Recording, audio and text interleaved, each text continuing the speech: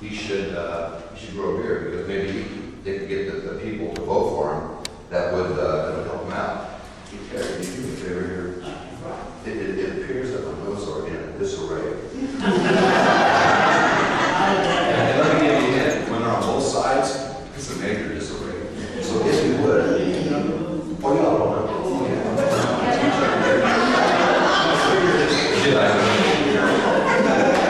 I'll give you- As an entertainer, you always say yes, and you give it to the person to go. No, They are, they are numbered, and, and it- so if you can put all those single numbers, like, like one, three, four, one, three, five, seven, eight, nine, one, three, five, seven, on one side, and it all happens. So then again, the other thing besides the beard is the top hat. And uh, in our presentation at the museum, uh, first of all, we had an opening last month for the historical site, which was awesome. And so the members were invited to that. Then on May 5th, they had a- the official opening for the museum board, and we we got invited to that. And uh, one thing I I just keep forgetting is Lincoln, when he lived in in Indiana, he didn't have a beard, he didn't wear a top hat. Because they had a reenactor there who, I looked at him, and he was just a big tall guy with no beard. He was good, but he was just another big tall guy with a beard, and I, or a Lincoln beard. And immediately I went, oh, that's right. Lincoln in Indiana, he came there uh, when he was, uh, in in 1816, when he was nine years old, he left in 18, when he was 21 years old. So of course he wouldn't have a beard. Of course he'd just be a really tall, lanky individual. And they always teased Lincoln about how strong he was, that he could take a broad axe on each arm and hold him out. Now that doesn't sound like much until you grab a broad axe and hold it out. And then go, I'm done. That's the end of that. And, and, and another thing, uh, again, over and over, you hear these, these rumors, these legends about President, about President Lincoln, and you keep forgetting when he was in Indiana, he didn't have those things. So in Indiana, he lived basically one, one quarter of his life. Now, he died at 56. So as a result, you look at, at what President Lincoln was going through, and you think, Indiana been ignored. In fact, that's the whole purpose of the, of the Lincoln Inquiry, is that the idea that authors ignored Lincoln here in Indiana, and if they did ignore Lincoln, they slammed him. They slammed Indiana. And when I get to my presentation, uh, you can see some of the words that were used, and they are not complimentary. And that's what angered the Lincoln uh, Inquiry so much, because we are the ones who created Southwestern Indiana Historical Society. We are the ones who created the Lincoln Inquiry. So when people start slamming the Lincoln Inquiry, how could you not, um, how could you not be, uh, be angered? So then, first of all, President Lincoln, I, I think when you look at it, there it is, look at that. More books have been written on Lincoln than any other person in, in, in American history. And so this is a demonstration in uh, Washington DC at the Ford Center for Education. And this tower is 34 feet high and 8 feet wide. And it includes over 15 to, one source said 15,000. So if you Google it, it says 15,000 books have been written on Lincoln. Another source says 20,000. So you can take a choice. But obviously, besides Jesus Christ, Lincoln is probably one of the most uh, quoted and the most uh, uh, read individuals. So then, we'll start with first of all, this is our leader, John Englehart. And in 1916, pres- or at that time, uh, Evansville Mayor Benjamin Bosse appointed John Englehart to chair a citywide Lincoln Centennial uh, Commission. So Lincoln came here in 1816. In 1916, Englehart decided we need to do something here, which, as a historical society, you guys realize now, this is the 200th anniversary. So you see what we're doing here? Last month was a display of Lincoln in Indiana. This month is the Lincoln Inquiry, so we're doing as much as we can as a historical society to perpetuate the idea of Lincoln. Uh, also, later in the presentation, we talk about the Lincoln Village, which is open the 21st, uh, this, this weekend, which if you to make it, it's awesome. But it's also available in October, which I'll tell you later in the presentation. So Evansville Mayor Benjamin Bosse appointed Michael to chair a citywide Lincoln Centennial Commission.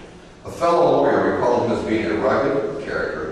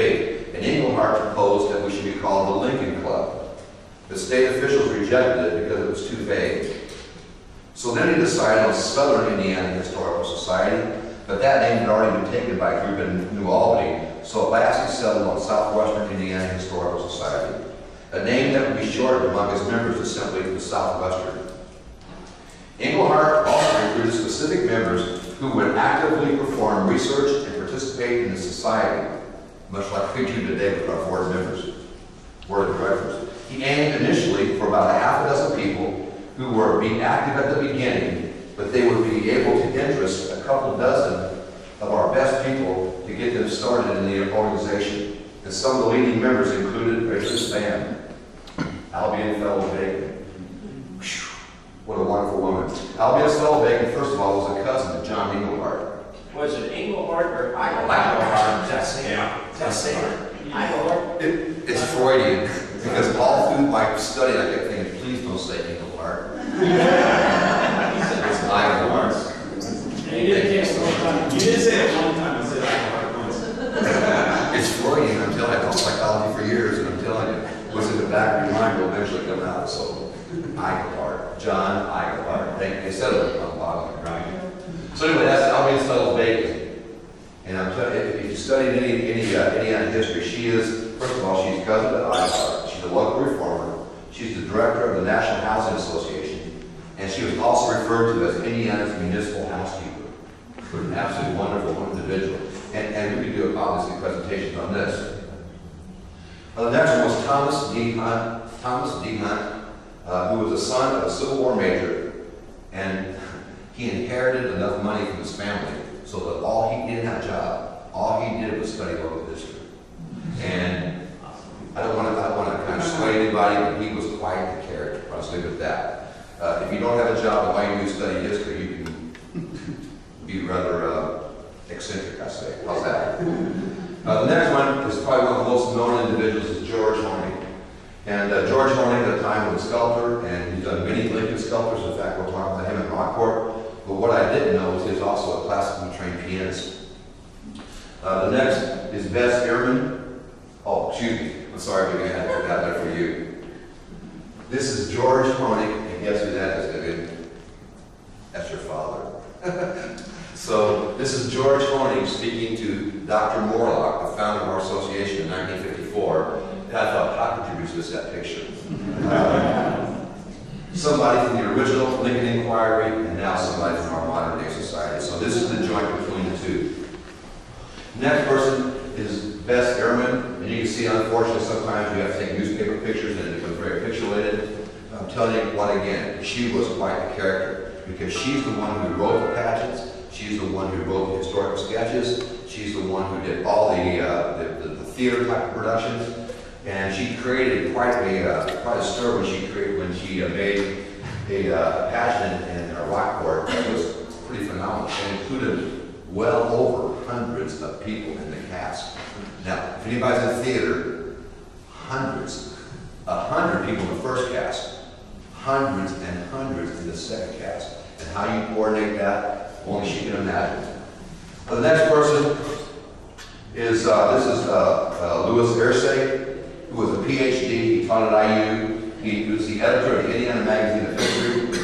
And finally, the last person I wanted to mention on a picture of is Eldora Minor. And and she was the niece of John Breckinridge. If you follow Lincoln, John Breckinridge was the one who gave Lincoln all his books. And supposedly, he's the one that Lincoln, that Lincoln got the book wet, and he went back, gave the book back to him, and said, I'll, I'll pay you for what, uh, what I've done to it. So these individuals were the, uh, the- the starting lineup of our uh, society. And we also had at least eight members of the society that owned or edited local newspapers in the area. And the papers in the communities published announcements and invitations and programs for each program. And they also invited members of the paper to regularly attend our proceedings. I know I counted three times that we were in the paper. So if you are not a member of our society, we highly recommend that you join. It's seven dollars. Two dollars for a lifetime membership. Two. Seven dollars for the year. So we have seven programs, we do one dollar program, it's seven dollars a year. And we invite anybody and everybody as, as a Lincoln Inquiry to contribute. So the former director of the Indiana Historical Commission, John uh, Oliver, wrote to ma'am. And he said, every time I tune in with your point of view, I find myself waxing enthusiastically over the whole subject matter. And how I wish I could come in and spend more frequent time with you in contact and catch up with more of your burning enthusiasm. So again, you look at that man, and you look at Lincoln's eyes, and look at that man's enthusiasm. What an awesome opportunity. Over the course of two decades, our society eventually had over 500 members.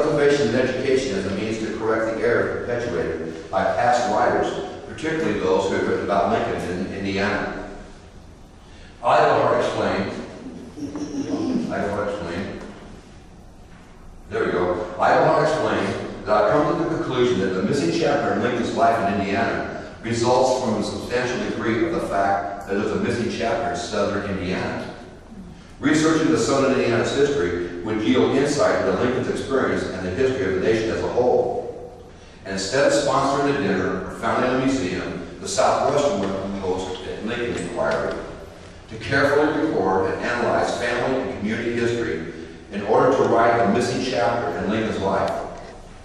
The endeavor would also correct errors made by past historical writings.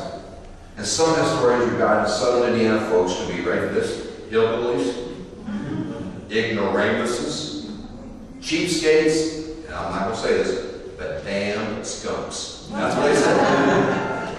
Ward Lamon, who distinguished Lincoln from uh, his, his other, distinguished Lincoln from his Hoosier neighbors, said that Lincoln was a diamond glowing on a dunghill. See where it comes from. Eichelhart identified two problems with the biographers. First, he condemned the biographers as outsiders who spent only a short time in Indiana. And secondly, he challenged the prosecution's most important witness, Dennis Hanks. For he said Hanks was illiterate and an ignorant braggart who was entirely unre- unreliable. As a first step, members of the Historical Society responded to past interpretations by citing present authorities. And in 1921, Engelhart, or excuse me, Eichelhart, I love being the furrow. Iglehart contacted, for Frederick Jackson Turner. Bam. Frederick Jackson Turner. Frederick Jackson. There it is, Frederick Jackson Turner. And Frederick Jackson Turner wrote a uh, essay called Significance of the Frontier in American History, in which he said that as people moved west, they established their own identity, and that's the identity of America. So Frederick Jackson Turner was a Harvard professor who in 1893 wrote a famous essay entitled The Significance of the American Frontier in American History. I, Eichelhart.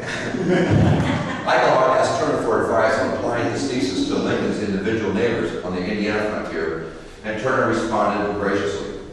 By situating Lincoln's frontier within the very process that made Americans American, that made Americans American, the Lincoln Inquiry would not simply investigate local history, it would contribute to the understanding of America. And over the coming decades, Frederick Jackson Turner watched over the Society's work and corresponded with Turner and connected with the Lincoln Inquiry to also connect a network of academic historians. Eichelhart and Turner grew into a personal relationship, and Turner hosted Eichelhart at Summer House in Wisconsin. And Eichelhart became Turner's warm friend, devoted disciple, and enthusiastic supporter of the Lincoln Inquiry's work. In April 1920, Eichelhart sent a circular letter to the vice presidents of all the local historical societies. It called for the members to, first of all, take inventories of all local resources. Secondly, write biographies of pioneers. Third, create scrapbooks.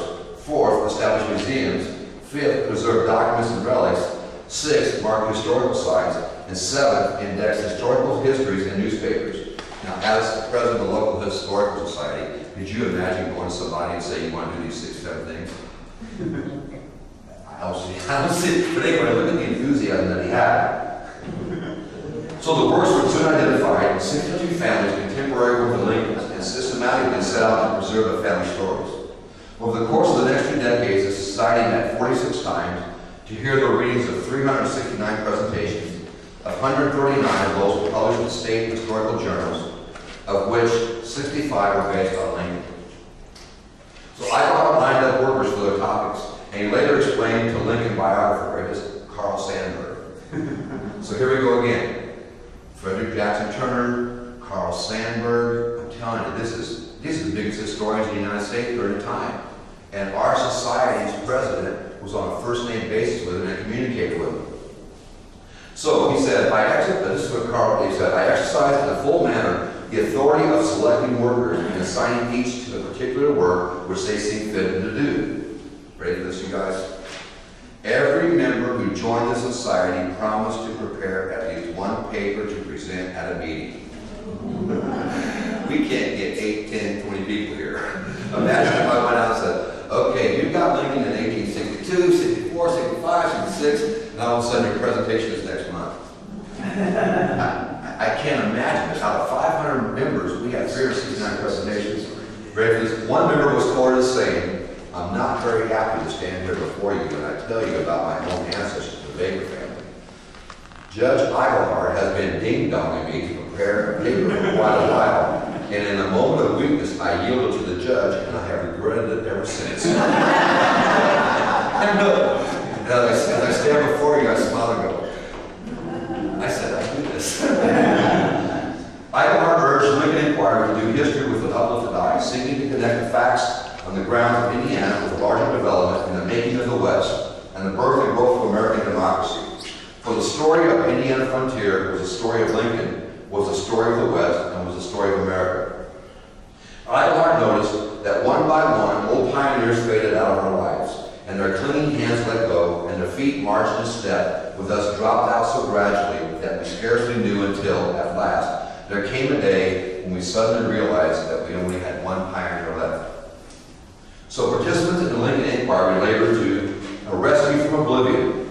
As Urban said, this historical material must be preserved by the generation, or much uh, of it will be lost and never can be supplied by later generations. For they felt their duty to rescue from oblivion their findings that they themselves could observe or provide. Logan Esarey hoped that the Inquiry would ultimately convince just a few people to regard Hoosiers as mediocre at best. So we're not asking for it, we're just saying, come on, we're not hitting those, DJ. A local newspaper, Arizona Society, recognizes perhaps the leading historical society in research for the state of Indiana. And by early 1920, as the Lincoln Inquiry established its agenda and held its first public meeting, interest had grown. In the same year, that the federal government finally unveiled its monument to dedicate to President Lincoln on the national mall. In November 1922, Eichelhart received a letter from the leading Lincoln biographer of the day,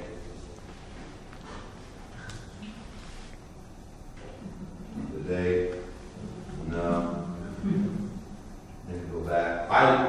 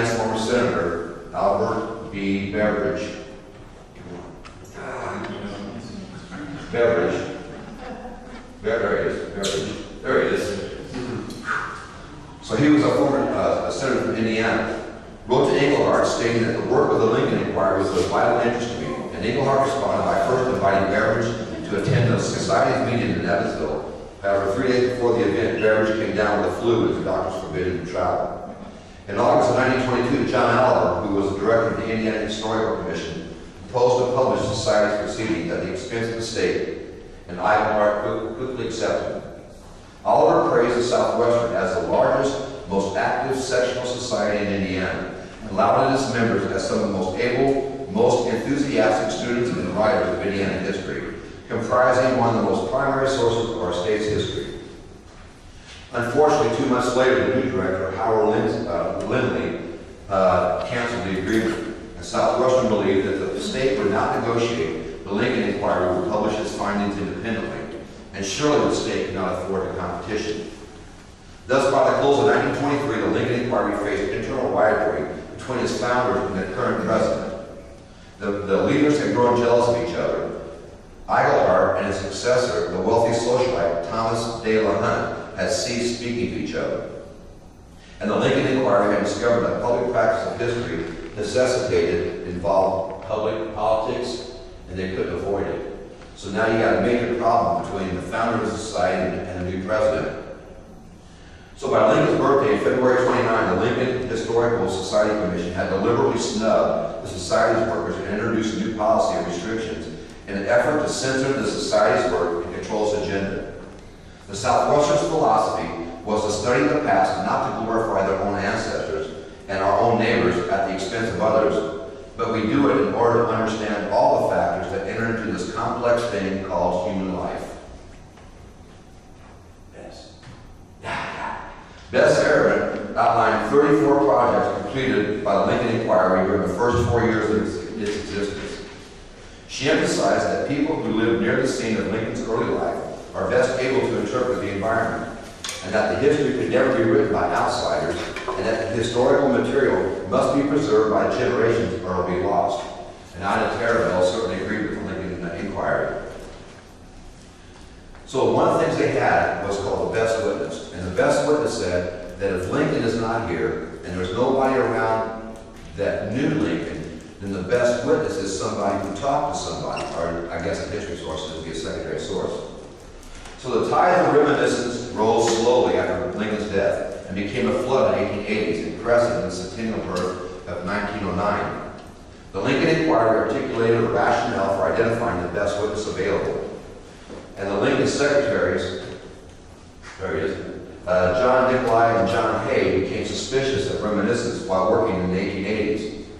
And Senator Beveridge openly attacked both reminiscers and those who believed in 1920.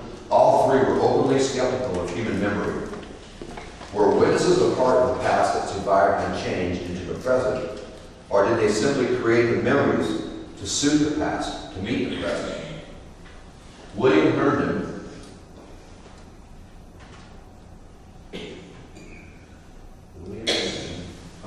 William Herndon, who was Lincoln's law partner, if you remember correctly, also took a decidedly different approach of collecting oral history. He judged himself supremely qualified to present Lincoln in his passions just as he lived, breathed, and laughed. Herndon chose to employ witnesses as a window into the past that they themselves not, might not have fully understood. And as he put it, and his, as he, excuse me, relying, as he put it, his mud instinct, he wanted to see the men and women's faces when they talked, to read their motives, and thereby see to the gizzard. He thought that dusty documents from the past concealed too much.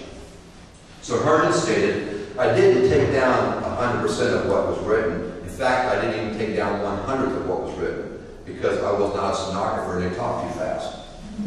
Things which I did not deem of importance, I paid not much attention to. But now I regret it, as now I have wanted very, as now I as often wanted the very things I rejected. I thought that if I should have a great advantage of personal conversation with Lincoln's contemporaries in regard to the important events of his life, but we ascertained from a very short experience that no confidence whatsoever could be attained by placing the memories of even the most intelligent of the most honorable men when it came to narrating the relations of the past. Because again, you can't trust human memory. The Lincoln Inquiry itself saw itself in the best position to soak in all the necessary details about the history of southwestern Indiana because they themselves had lived their entire lives among the places, people, and the relics that survived from Lincoln's days. Among the Society's records was one occasion an oral history performance. His name was John Shanklin Ramsey. Had joined the Union Army at, in Evansville at age 17. And before he reached, reached the field, a cannon ran over his foot, and he was reassigned to a provost guard duty in Washington, D.C.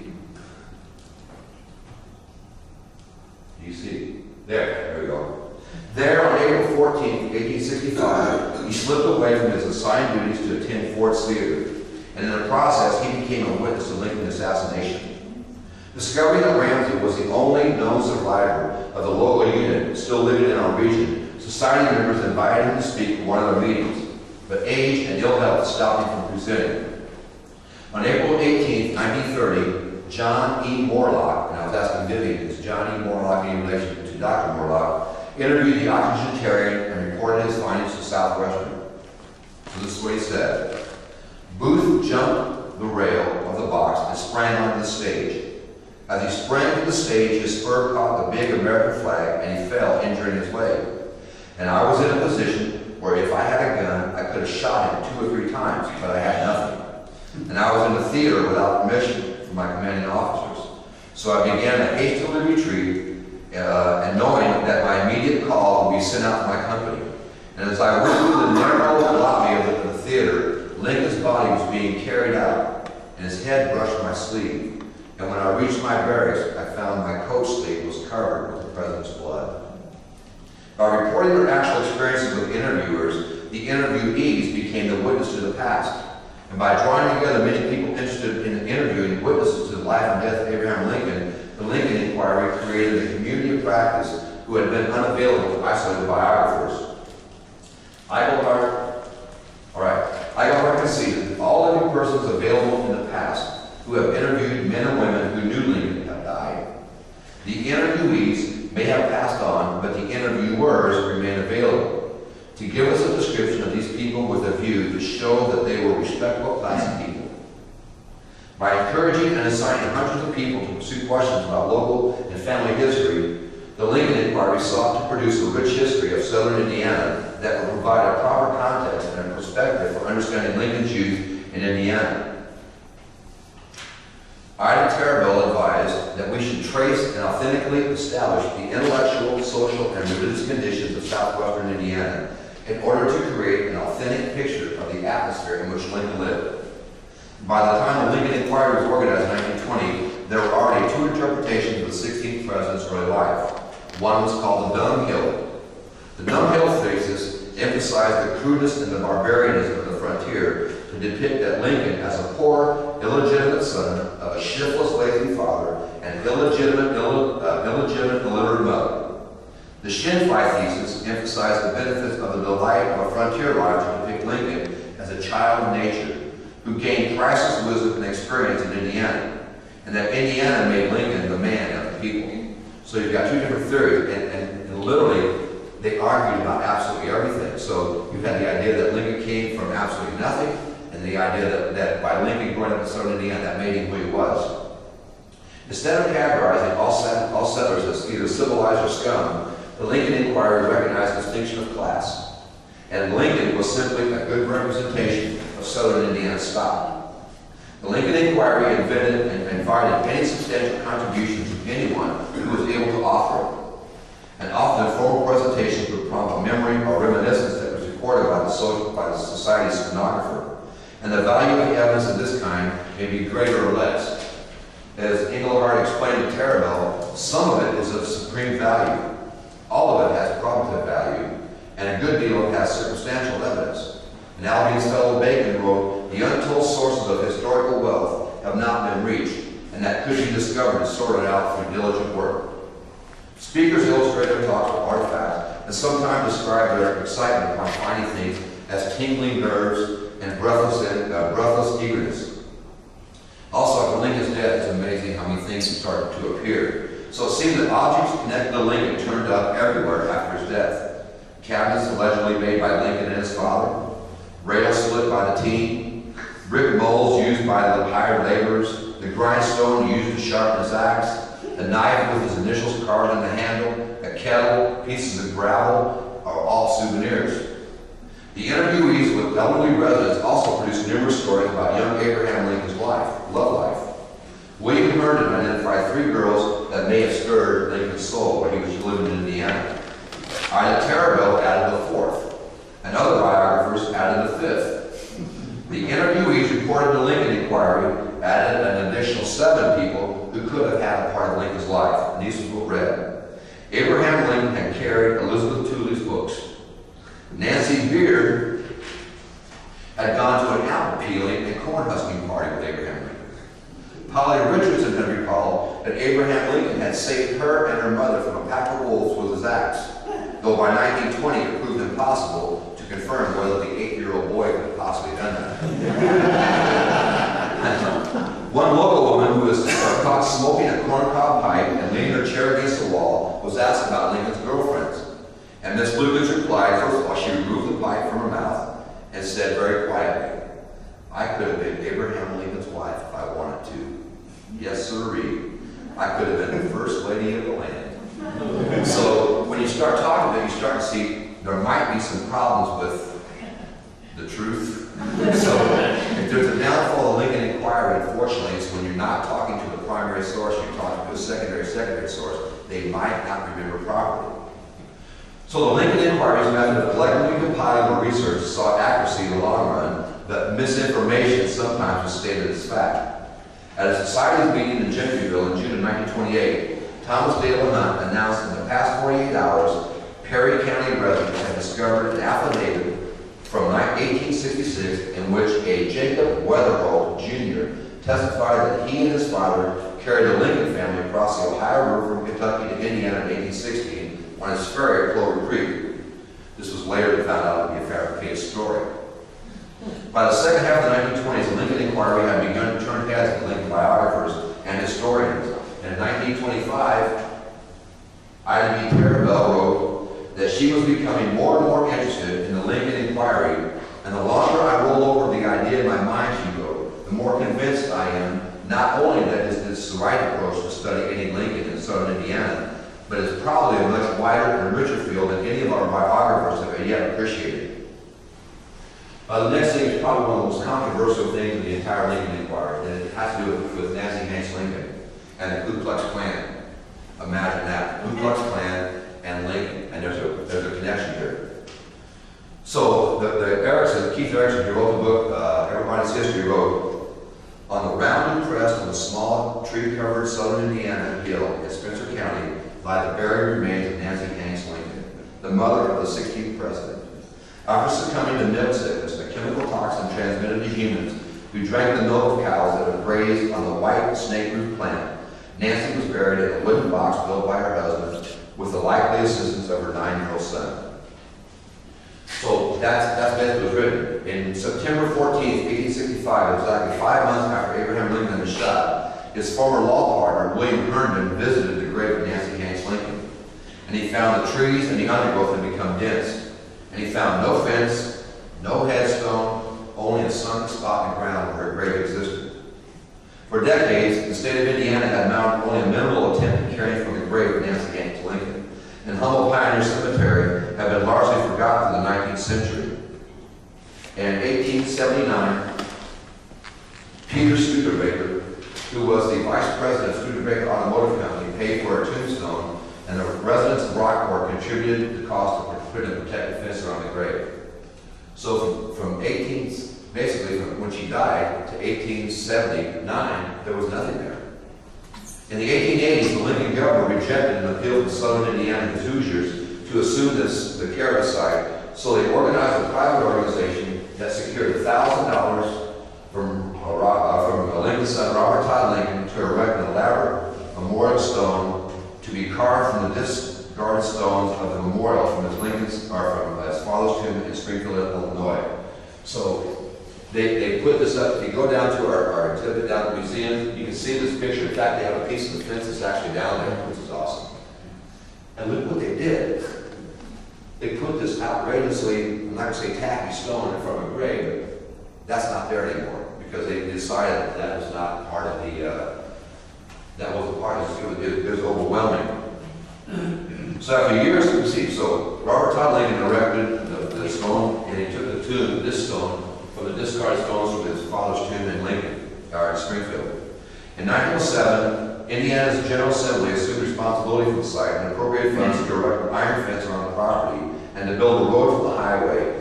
And for reasons left unexplained, they were to install life-size sculptures of lions at the entrance. After, after years of inactivity, and upon hearing rumors of the grave's deplorable condition, and rumor that a picnic parties were desecrating the gravesite, Richard Lieber, who was the director of the Indiana Department of Conservation, decided to close the park to all automobile traffic and prohibit all meetings except those that were explicitly religious and moral functions. And he had no idea what was going to happen when he closed that park, because the people of southern Indiana, they erupted. They said, you can't do this. By the summer of 1926, the funds to allocate the states had been all but spent, leaving no money to enforce the park's closure. And Lieber wondered how could he persuade the state to, allocate or raise more money for the tomb. Well, two years earlier, during the election of 1924, the Ku Klux Klan had overrun Hoosier politics. And the Hoosier Klan grew to include, some say, one quarter of the Hoosier population which was more people than the Methodist Church in Indiana. So you had more Klan members than members of the Methodist Church in 1924.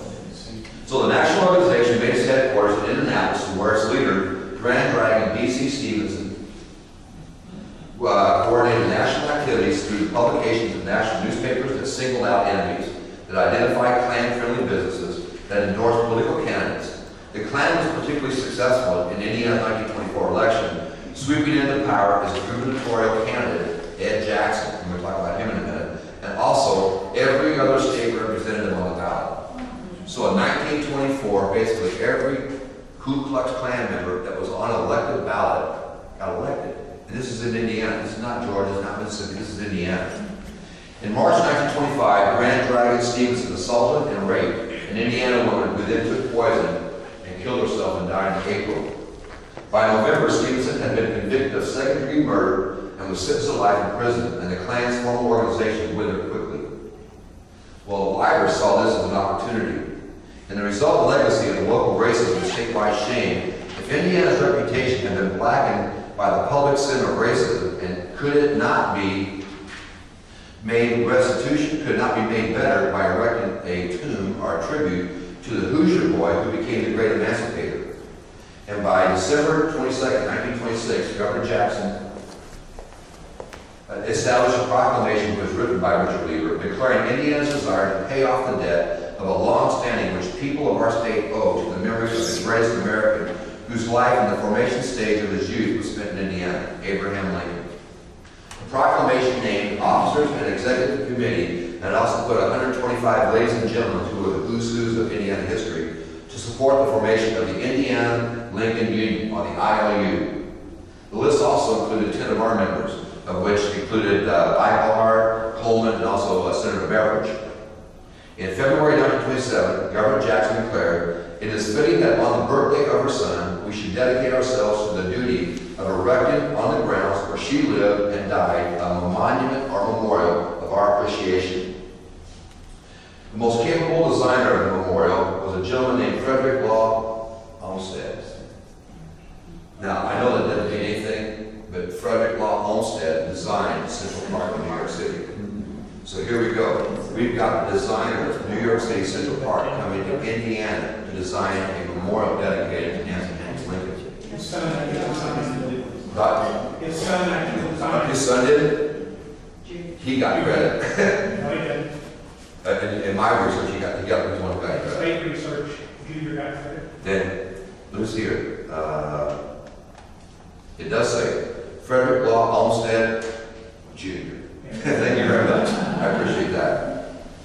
I. In 19, uh, in March of 1927, Olmsted drew plans that would combine ecological and commemorative elements. And he also proposed to restore the forest to give way to an open walkway that connected the gravesite with a broad plaza featuring a colossal American flag. Olmsted proposed creating a sanctuary. Richard Lieber's version was obviously different than Olmsted's plan. Lieber had argued that the site's best purpose would not be as a playground or a picnic ground, but rather as a shrine. As Indiana's duty and opportunity to hollow the ground where Lincoln spent his childhood and where his mother died. And Olmsted proposed, offered a sanctuary for meditation, so the ILU, or Lincoln, uh, the Indiana Lincoln Union, added to the original design a massive cathedral-like building, 200 square foot structure containing 150 foot square tile and a large pipe order. With Olmsted's frontier forest, the ILU would further add a trail of 12 stones retrieved from places significant in Lincoln's life, such as his birthplace, his store in New Salem, his Illinois state capital. And winding through the, the Hoosier hardwood, this trail provided explicit connection between the passions of Jesus Christ as commemorated in the 12 stations of the cross of the Catholic liturgy. And if you've ever been to the park, they do have an awesome trail that goes through there. And, and, and when you walk through there, you can't help but think, this is the area Lincoln, he grew up in. The site would perpetuate not only a Lincoln spirit as existed in him, but it would also influence upon their own lives. From history to honesty, from sight to spirituality, from trees to tolerance, Lieber remained the, the leap of faith that Lincoln and his mother could, could atone for the sins committed by the Klan.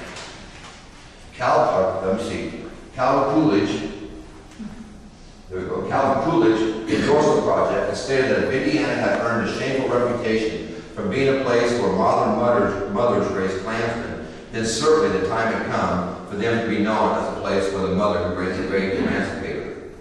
And the Lincoln Inquiry nevertheless questioned the pioneer monument for the, for the mother. They saw no use for the redemptive mother to atone for the sins of the entire state, and they preferred instead a memorial to the frontier boy who could typify the experiences and the attributes of all their ancestors. The Lincoln Inquiry did not challenge the interpretation of Lincoln as a great emancipator, but its workers differed from civic leaders in locating the source of Lincoln's greatness and the collective environment of the frontier rather than a singular mother. And polit- uh, politely explained to Turner that there had been an overemphasis on Lincoln's mother that would obscure the significance of Lincoln's experience in the Indiana frontier. And Turner wrote, Your society, the work of which I may follow interest and profit, does well, in my opinion, to study the life and the condition of the pioneer folks of the regions that gave birth to Lincoln and to the Indiana society which influenced his formative years. Armed with Turner's authority with authoritarian endorsement, the Lincoln Inquirer was ready to challenge, challenge, challenge the Indiana Lincoln Union. And if you've been there, I don't think you see that great big cathedral-like piece. And so you can see basically how the Lincoln Inquiry influenced the state not to do something like that. Throughout the decades of the 1920s, the Lincoln Inquiry took a message to the American people in a variety of ways. In time, the participants of the Lincoln Inquiry synthesized their findings for the public by designing a public historical, build, historical village, by creating a photo exhibit, hosting pageants, experimenting with film, taking students to local archives, and writing for scholarly and public readerships. They believe the past is conceived not as something lifeless in need of memorization, but rather something that needed to be encountered and entered. And the Lincoln Inquiry Road became one of welcoming the public into the place where it had never been, but where it was grateful to arise. And it was explained, we do not want to live in the past, but we want to make the past live in the present. We want to drink in the historical atmosphere and thereby be absorbed so much in Lincoln and his life as to feel a part of the early settlers. And before Albert Beveridge, uh, when he, he published the book Abraham Lincoln, 1809-1858, was published, Engelmark circulated a copy, uh, the first chapter two, among the Lincoln Inquiry able workers. And when the published volume came out in September 1828, Southwestern listed six objectionable statements within the first page, first four pages span and cast Lincoln's neighbors as men and women who were ignorant, rough-mannered, vividly suspicious, consumers of incredible quantities of whiskey and tobacco, and inclined to chewing, smoking, snuffing, and corncob pipe puffing. In public, in public, society expressed anger and the challenged Beveridge's work when they stood up in defense of their ancestors who could no longer speak for themselves. Speaking at a society meeting in June 1928, uh, Ehrmann stated, as if it makes my blood boil to read the articles that historians have written that we were scum on the earth.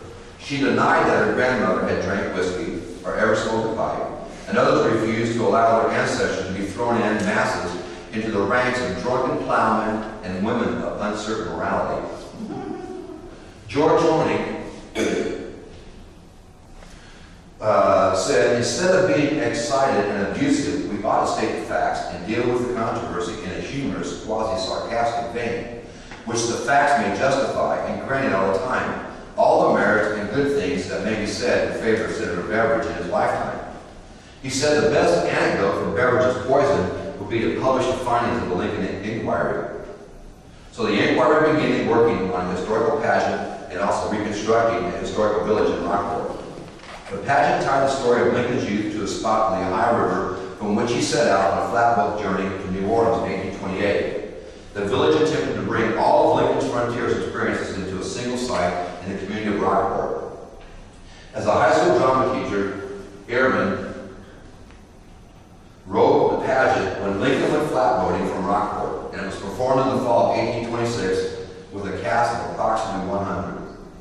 In 1828, the city of Rockport spent $700 to install circus seats, and Ehrmann, or Ehrmann swelled the cast to well over 400, and the performance date was moved to the fall in July 4th.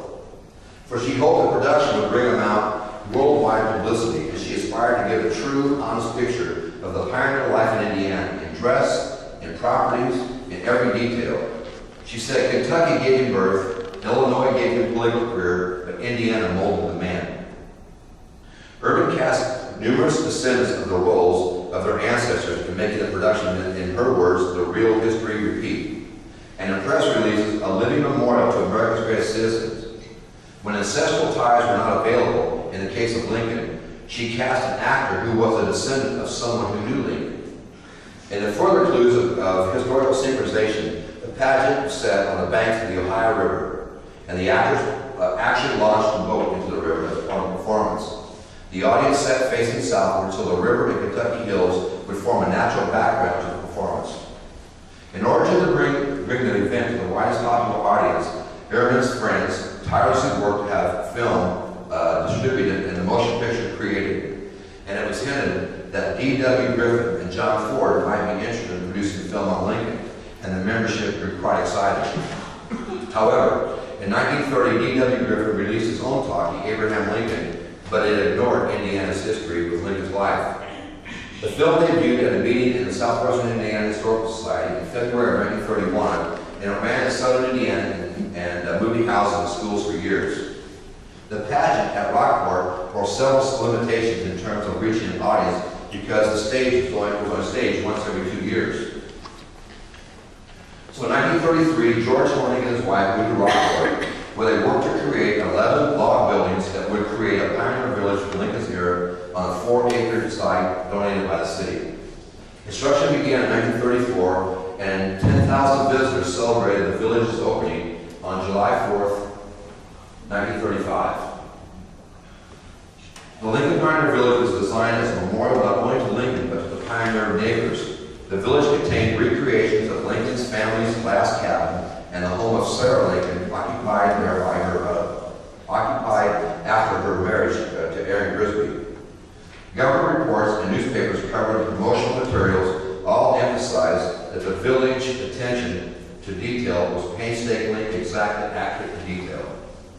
The Lincoln Inquiry Project continued to receive the praise of contemporary writers in history, and the Indiana historian James Woodburn endorsed the inquiry's conclusion that to consider southern Indiana pioneers as inferior or outlandish folks, steeped in ignorance, illiteracy, boorishness, immorality, degradation, and crime could not be farther from the truth. And Ida B. Tarbell judged that the Lincoln Inquiry had made an invaluable contribution to our knowledge of the conditions under which Lincoln the boy had lived. As its influence grew, the society was approached by school districts requesting to train teachers in ready-made lessons outlined for class use. And George Wilson, himself a former teacher and superintendent, believed that modern education methods generally undermined the interest in history. And he humorously observed that when he was a boy at school, history was the driest subject on the planet. He was sure that the island that, that Noah's dove found should be called history because it was the only dry spot during the entire flood. Southwestern complained that students were being taught to repeat answers, but not to think and initiate. And the jar of memory was crowded, but the think box was empty. The trouble with history is that too much is taught and not enough is learned. And the child is stuffed with data and not fed. They bypass the classroom in the curriculum push the school teachers send their classes out to do some real first-hand history work. And they urge teachers to take their students to Nancy Hanks Lincoln's grave or to Honig's Pioneer Village. It's so much easier to get our children interested in the study of county history, she said, if they could really see and examine these things. And field trips and archival research immerse the students in traces of the past that would encourage them to write up their findings. In 1930, however, several members of the society sparred with William Lynch, who at that time was the new editor of the Indiana Magazine of History, after he criticized their work and their ancestors. And these interpersonal difficulties were compounded by financial straits. Iglehart, Iglehart found funded the society's activities for the first three years, and dues kept it afloat during the second half of the 1920s. But after 1931, membership and dues uh, pays dropped dramatically. In 1932, the society's bank account was 32 cents. Iglehart said that these last Lincoln Inquiry papers would never be published by the state. And the Lincoln Inquiry might have survived the financial crisis had it not been for another catastrophe, the death of its members. By 1933, the Society had dropped three of its original meetings and ceased taking stenography notes, and two years later, the members moved to one meeting annually, and by 1949, the meetings were reported to cease altogether. The Lincoln Inquiry mission was to take the findings to the public, and they both succeeded and failed. They succeeded in mobilizing over 500 Americans to participate in the historical inquiry and in uncovering archival and oral sources. And the Lincoln Inquiry likewise inspired interest of uh, other hundreds of Hoosiers. But the Lincoln Inquiry failed to produce a lasting synthesis of public consumption. The photo exhibit and the pageant were received at first, but they were also transitory. The village provided employment and drew crowds, but enthusiasm diminished with time. Eight months after John Iglehart, Iglehart's death, James Randall called for the banishment of amateurs field of history, and that was the end of the Lincoln Inn in 1939. So what a wonderful uh, opportunity that Southwestern had to create these, these 369 pieces of evidence chronicling uh, Southern Indiana history. So I'll entertain any questions if you have them. Just one comment. Yes, sir. I was at the opening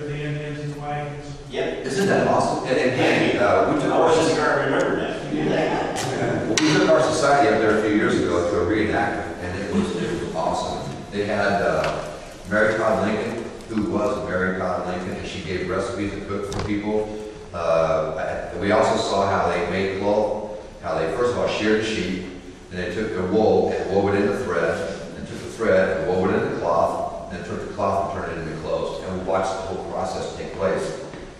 Kids don't get that. And in fact, the whole purpose of the Lincoln Inquirer was to do that. Yeah, Jennifer? What what happened to the 367? Right now, they're at Willard and, and at uh, Evansville. In fact, Dan- Daniel? But all of them are still in existence, all Uh, I wouldn't say all of them, because I haven't been there to ch- to check them out, but I know Willard has got a great, a great, uh, display of southwestern Indiana Lincoln Inquiry, and I know Daniel has down at, uh, down at Central. Well, a lot of that was published by the state, though, wasn't Right. it? What about the stuff that wasn't published? I'm not, I'm not, not aware of it. Yes, sir. I've been through most of that southwestern stuff that's in the archives here, and most of those biographies are here. The others are at Central Library. and- But the non-published ones? I think they are. Uh, Because, I mean, I, we have some of the published ones out of USI, I mean, the, the I'm not state sure about the historical difference published between those. published but- or unpublished, but uh, I've been through most of it because as a researcher, um, my fourth great grandfather came from Rockport. So I started looking into this whenever I got uh, Bill Bartelt's book, Right. and then also Erekson's book, and it led me to Bess Ehrmann. And my fourth great grandfather lived in the cave that was right. Oh my gosh, it. Which is where they presented all the pageants. That's what I say, at, at. In July of 1923, Bess Ehrmann wrote a pageant about James Langford and his family living there in that cave. And at the end of that, they put the plaque that's in the cave that says he lived there for one year in 1808, beginning in 1808. And that was your kin? That was my fourth great grandfather. So I I would refer to him as, as the caveman. I mean, that's, that's all. Presentations, I start with a picture of the cave, and I say, I can honestly say that I have traced my family to the cave.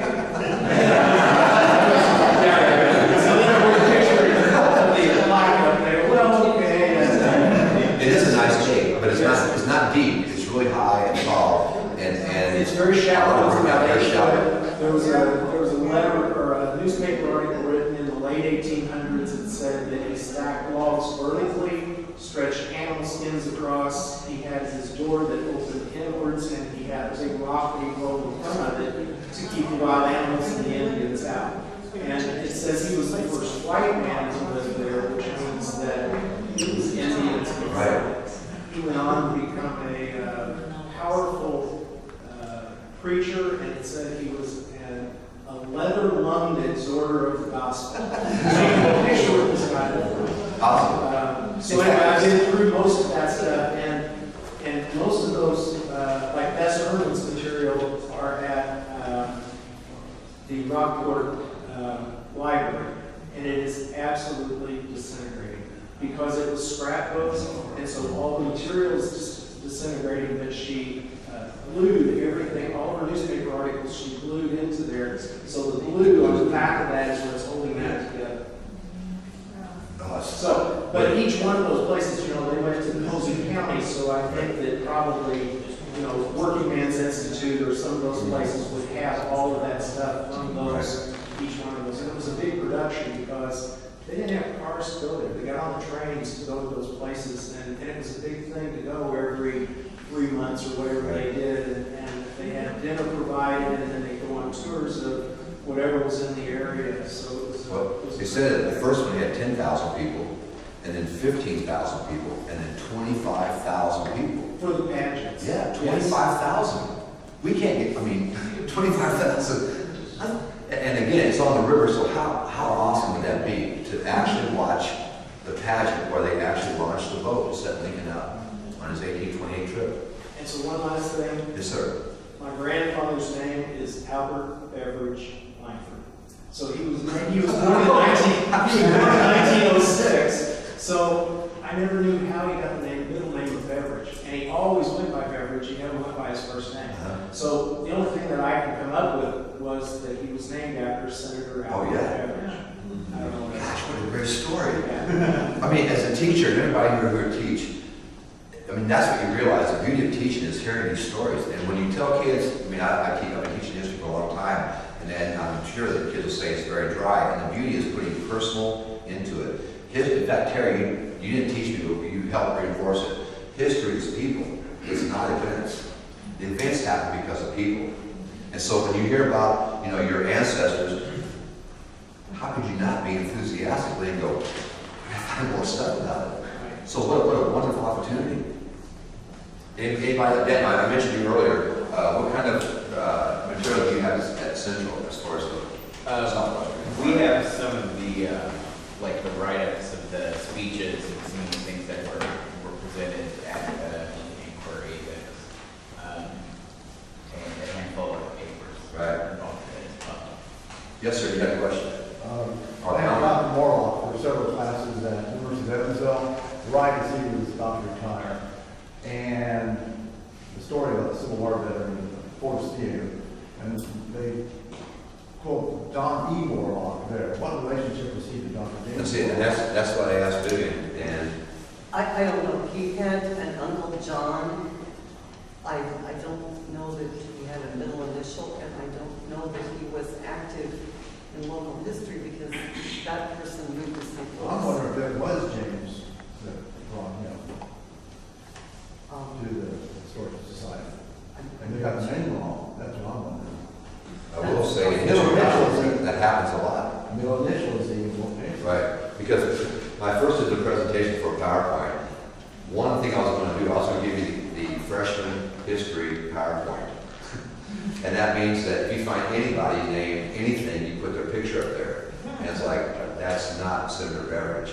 Well, I looked it up on the internet, it said Beveridge. It's like, no. You need to do a little research, so a lot of times it might not be right. I have a newspaper clipping from Dr. Morlock, retired about nineteen seventy-one. I need a copy of it for you, it's got, like, his whole, his whole history is something else. Well, when I first joined the society in the late nineteen eighties, I can't tell you enough, Vivian here, I can't tell you enough, I was influenced by Dr. Morlock, because he was a society, he made it happen. And he was the energy, and he brought the people in. And so, from Dr. Morlock retired as president, we went through a society where our presidents changed every, was it every three years? Until me. So I've served seven terms, and I, and I go back to, first of all, what Dr. Morlock's philosophy was, to reinstitute the local history and to emphasize our, our heritage. He's a storyteller. Vivian told me that, or somebody told me, well, they told me that he would start a class with a piece of chalk, and he'd say, this chalk knows everything that's gonna go on that board, but you don't know anything. And he'd turn around and start writing, and it's like, piece of chalk knows everything. And I thought, if I told my, my freshmen that, that this pencil holds, they're gonna no, it's fair. Uh, But, but yes, He didn't exactly. write that many notes towards the end of his career, though, he would sit in front of his desk. Right. And he would tell story after story after story. And we was the best one. Oh, as a history person, those are people I, I, you sit there on your desk and like this. And sometimes I look at my students like that, but their eyes are. But not always. Any other comments? What a wonderful opportunity this is, because I think, again, this goes back to the origins of our society. And, and when our society stopped in 1939, after, uh, uh, really 1940, after, uh, after, uh, John Iglehart, Ingle, Iglehart died. I get it. There was no fight to take over. And so when Dr. Morlock picked it up, that was the, that was the thing that attracted me. I wanted to continue, and and I saw what was happening. I was the youngest person involved. And look at our society. We, we you know, our, our people from E EVSC keep coming to our teachers, coming to us and saying, you know, what are our teachers doing? And I can tell you how many E EVSC teachers have been here in the 20 years I've been president. And it's less than, I won't say it, but it's less than one hand to show you. I can't even name those five. Um, So we as, as a society have responsibility to keep this going, and so that's why we're doing our internet, our internet page. And Jennifer, thank you for taking care of that. And our board of directors, which we work really hard at putting programs together that are going to emphasize United, our local history. And I can't thank you enough for our board, because they are, ab- they're wonderful. And, and they have people from all different walks that contribute all different ideas. And to hear these ideas are awesome. And you'll notice that every year, one or two of us are going to raise a hand and go, I'll do a presentation. Because that's what makes it exciting. I mean, anybody who does research knows that you cannot tell you, I can't tell you how many hours I put into this. I can't tell you how much time. I mean, it, it just takes time. But every minute, every hour that you work on it, you keep thinking, I cannot wait to share this with somebody. And that's what teachers do. They learn the material and then they want to share it. I think that, as society, that's what we should do. Yeah, Dave? Uh, Rob, great, great job. I just wanted to say also that this story is, a, a, I think, an inspiration to all of us to of the importance of amateur historians, people who are not necessarily trained as historians, or people who don't do it professionally, but do it because they they love the topic. Um, and if you're one of these people, please keep doing what you're doing. And the second thing is the, the importance of talking to witnesses. Um, you know, the, the generations are passing, right? And, you know, Vivian has that direct connection, and this gentleman has that direct connection, and you have the direct connection to Dr. Morlock, but lots of us don't. But that he lives on because you talk about him. But, you know, I, I think all of us have connections to people who lived through amazing things, and I would certainly urge all of us to, to talk to these people and ask them and, and record it. It's never been easier to record that stuff than it is now. And, and you know, please, please do that because it's really important. And James right now is working on a, uh, a PBS project uh, on World War II. Uh, I mentioned taking the kids to the history, and John Carl at, at Rice is doing a program called Field of History, in which they create doc- students write the documentaries, they edit it, they shoot it, they, they do everything, and it's been on PBS. And you can go to Field of, go to YouTube, type in Field of History, and there's a, pro- there's a 70, 80 programs that they've created. And, and uh, it is awesome. It's exactly what James is saying. It's kids taking it in their own pocket and saying, this is mine. I want to do this. I'm not being taught this. I want to teach you this. And that's what we all have. I mean, my gosh, the you just made about your family. You know, if, if we didn't have this presentation, I would have never heard of it. Uh, Again, you were there in 1935 and the censure on July 4th. And, and, and you talked already about trying to get history from people who have been there. Right? I see Mark Browning back in the back. He and I are, are part of this uh, Freedom Heritage Museum, and we're running into the same thing. All of these guys that went through all this World War II stuff, they're all going away. Right. And we're trying to catch them before they get too far down. But we did, uh, James did a presentation, Right. uh, and then, and then Mark, Right. one of our speakers didn't show up, and I can't thank you enough, Mark. Uh, he had his program in the can, and after fifteen minutes, we plugged it in, and one, two, three is showtime, and what a great thing we had. We had James doing his presentation on World War II, and then Mark doing his presentation on World War II. And what an awesome opportunity. If you've never been out to the, to the airport during the summer to see the planes they bring in, it's well worth your experience. Now, no, this is not Lincoln Inquiry, but to walk through a B-17 and realize, And all these guys that went through that are in their nineties now. and they're dying faster than you believe. I mean, that, that's the sad part. I tell my students again, if you've got, I used to say grandparents, now it's great grandparents. Mm. And so I encourage them to go through their stuff. One time, I, I taught at Elfrey. I don't know what I did. I was teaching Elfrey, and this girl came in and said, Spirit, I through my, uh, my great grandmother's trunk, and look what I found. And it was a document signed by, I think it was President Buchanan, who's not my favorite, but it was, a it was a land grant signed by, signed by Buchanan. And she said, what's this worth? And I, you know, she's expecting thousands, and I said, you know, I don't really know what's worth. She said, a couple thousand dollars. I thought, uh, But she was so excited because she had it, and she met me at my door, I got there early, she met me at my door with this paper, said, look at this, Spirit, check this out. And she was so excited, and, and I'm telling you, we all have those opportunities to go through our grandmother's, our grandfather's stuff, and to find documents, my papers, as James said, document it, shoot it on your phone. It's just, it's a, it's a wonderful opportunity, and I'm telling you folks, if we don't do it, just like you said, it's not gonna be there. And once it's gone, it's gone. And so, not like the Lincoln Inquiry, where you were interviewing people that interviewed Lincoln, these are people that were actually there, so you got the primary source. And as a history teacher, primary source, primary source, primary source, you can't say it enough. Secondary sources are interpretations, and sometimes those interpretations just are not right.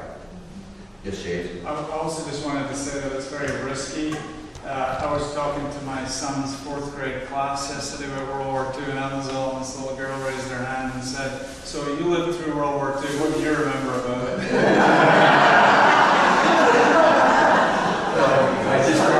I just got the 60s and seventh generation, you know, by 30.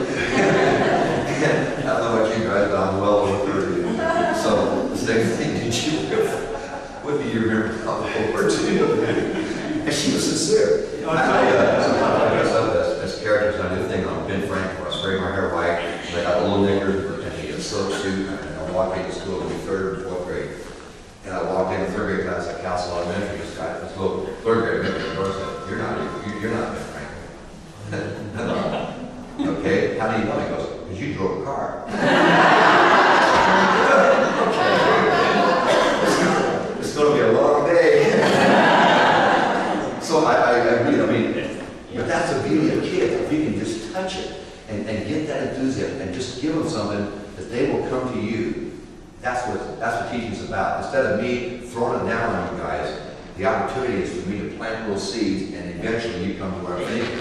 And then the next thing you know, it's like, check this out. And then they have somebody to tell to. And that's the greatest thing. Anybody else? I mean, I I absolutely love this stuff. Any other comments?